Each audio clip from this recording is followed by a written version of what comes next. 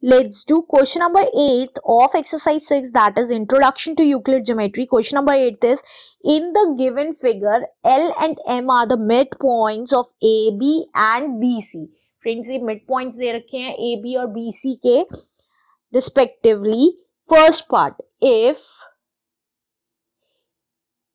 AB equals to BC अगर हमें AB equals to BC दे रखा है proof that to prove किसे करना है to prove AL equals to MC कि ये इक्वल टू इसके है, ये प्रूफ करना है राइट फ्रेंड्स अब देखिए कैसे करेंगे, हमें प्रूफ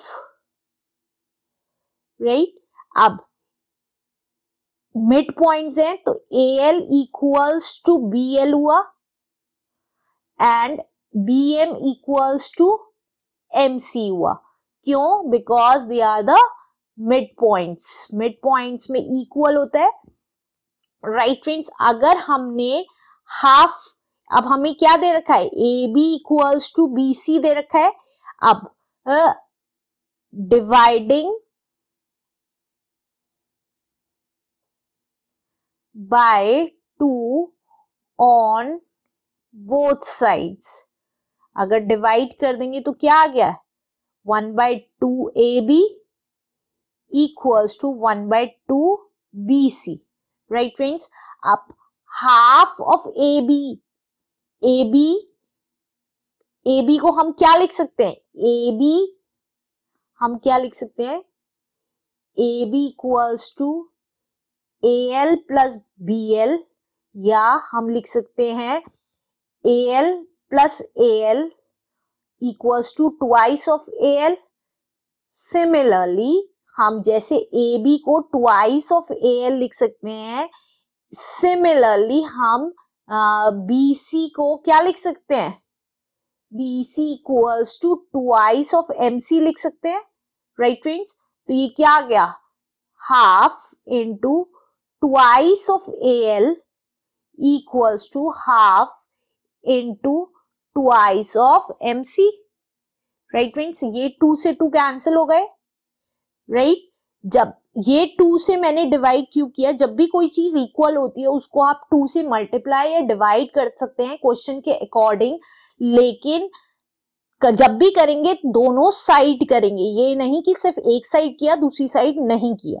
तो अब ये क्या आ गया? A L equals to M C यही हमें प्रूफ करना था तो hence proof let's do second part second part is if B L equals to B M अगर बी एल बी एम के इक्वल है तो to proof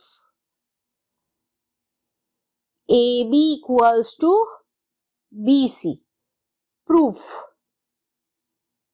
friends देखिए A B equals to B C proof करना है। अब B L equals to B M दे रखा है राइट right? तो हम, देखिए, हमें पता है A L equals to B L है and B M equals to M C है मिड पॉइंट की वजह से मिड पॉइंट की वजह से राइट फ्रेंड्स फ्रेंड्स अब हमें क्या दे रखा है?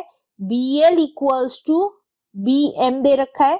अब हम इस इक्वेशन को मल्टीप्लाई बाय टू कर देंगे on both side multiply by two on both side right friends तो ये क्या हो गया twice of B L equals to twice of B M अब इसको क्या लिख सकते हैं? B L plus B L और इसे क्या लिख सकते हैं? B M equals to B M right friends अब एक बी एल हमारा ए एल के इक्वल है तो A L plus B L equals to sorry यहाँ प्लस आना था। अब एक बी एम को मैं क्या लिख सकती हूँ? एम सी तो B M plus M C. तो देखिए, A L plus B L कितना हो गया? A B. अब B M plus M C कितना हो गया? B C. Hence prove thank you if you understand the step by step solution of this video please subscribe my channel on maths and share it with your friends thank you